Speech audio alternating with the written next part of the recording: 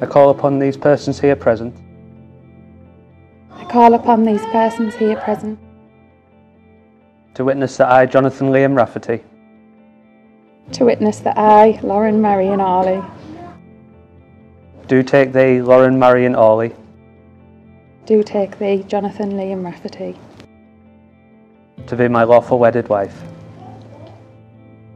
be my lawful wedded husband.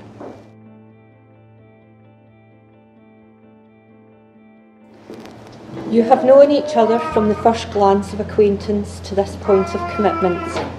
At some point, you decided to marry. From that moment of yes to this moment of yes, indeed, you have been making promises and agreements in an informal way. All those conversations that were held riding in a car or over a meal or during long walks, all those sentences that began with when we're married and continued with I will and you will and we will. Those late night walks that included someday and somehow and maybe. And all those promises that are unspoken matters of the heart, all those common things and more are the real process of a wedding. He can be a soppy twat, can he? Yeah, okay.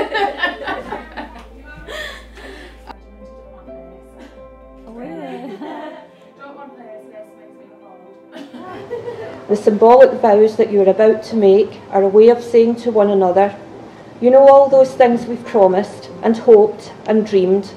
Well, I meant it all, every word. Look at one another and remember this moment.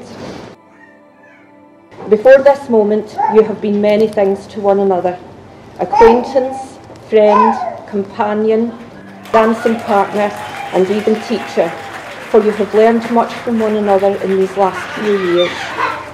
Now you shall say a few words that take you across the threshold of life, and things will never quite be the same between you. For after these vows, you shall say to the world, This is my husband, this is my wife.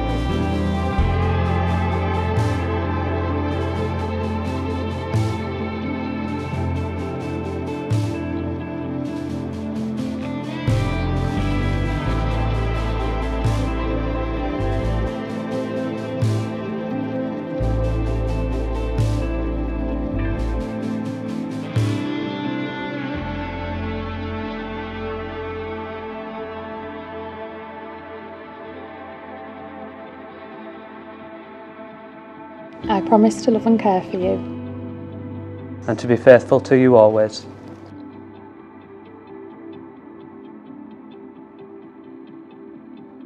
may we look to our future together, with hope, happiness, and joy.